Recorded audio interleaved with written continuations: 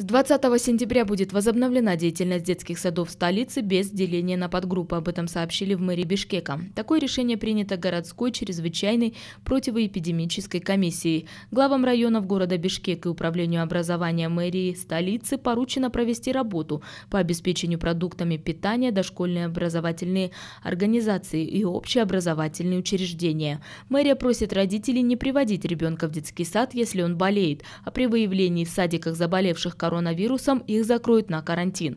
В связи с утвержденными алгоритмами родители не будут пускать за ворота детских садов.